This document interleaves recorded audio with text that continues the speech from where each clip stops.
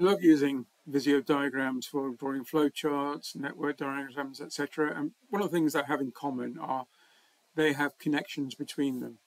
And in a well-structured Visio diagram, that you can follow the direction of the connections.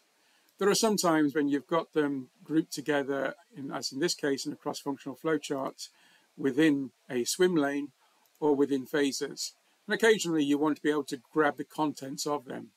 But one thing that's annoying is that even though on the right mouse action of one of these containers, there is a container option, you see that select contents is grayed out for some reason. And again, on the swim lane, I do that and I look on the right mouse menu and I can see it is disabled.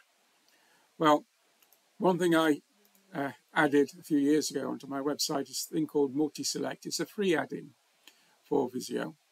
And with that, if I select like a phase here, I can go to look at the contained items and select everything that's inside of it. As you can see here, it's selected the 1D, i.e. the connectors and the 2D shapes within it. But there is an option underneath there to just do it by 2D shapes, and I've got just the 2D if I wanted to.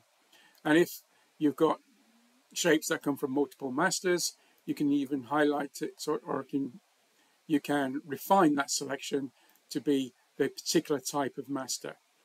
So that's one way of selecting things either within, within a a function band or swim lane or within a phase or a separator. Another thing you might want to do is to follow the route through a particular diagram. So with uh, the start shape here selected, I can go to children. And again, I've got the option of going just to the 2D, uh, or I can go to the 1D, or I can do it by master or by category.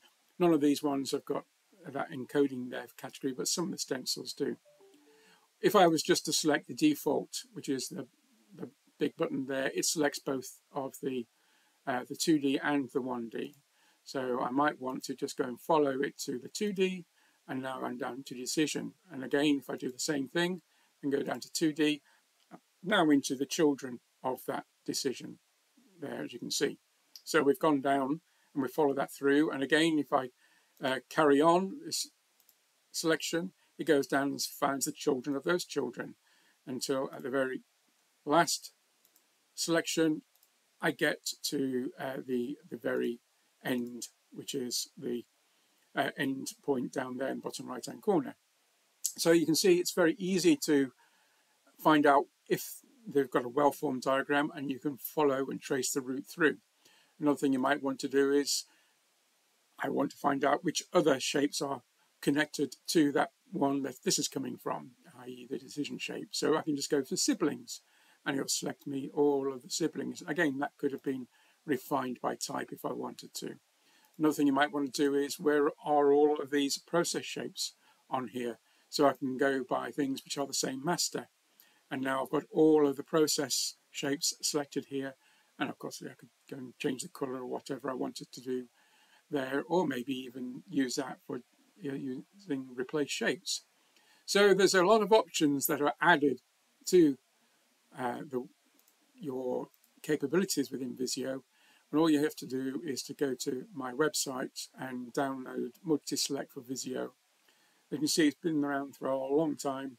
And if you want to donate me some money, I might write some more handy little things for Visio.